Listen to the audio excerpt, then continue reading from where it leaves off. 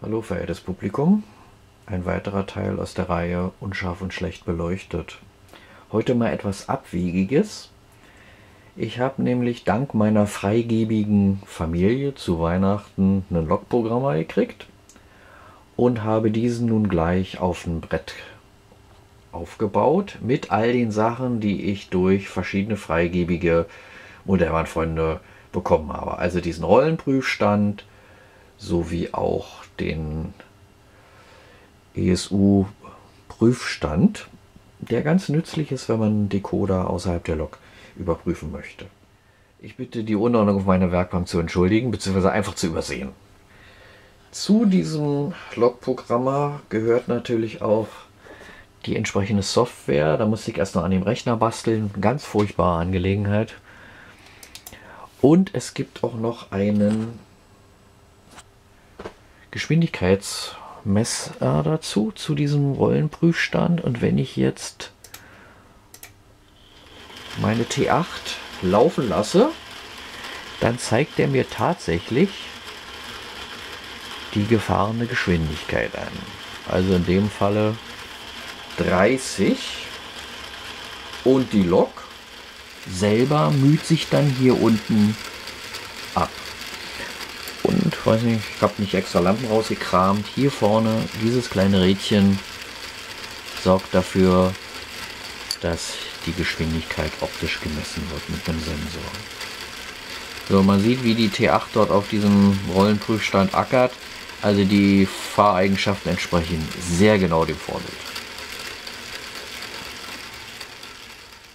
Hier habe ich nun den Programmer selber direkt auf die Holzplatte geschraubt. Zwar nicht so, dass die Häuse gesprengt wird, aber doch fest genug.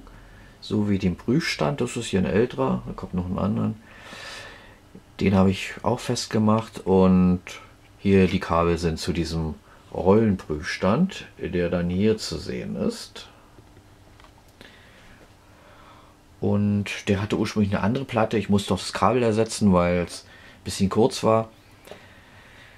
Äh, beide Geräte sind über USB mit dem PC verbunden. Und im Hintergrund ist dann noch mein Testgleis angebracht. Und alle drei Sachen, also der Prüfstand, das Testgleis, wie auch der, Prüf, der Rollenprüfstand oder ja, die sind mit dem Programmer verbunden.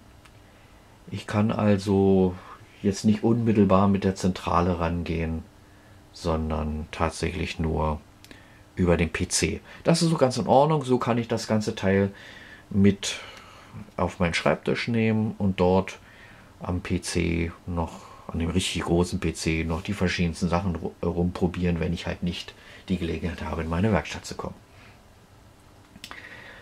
Das alles fest aufgebracht zu haben, befreit mich von einer Menge Krempel und man hat nicht jede Menge rumfliegende Kabel, über die man dann stolpert, wo man hängen bleibt und so weiter.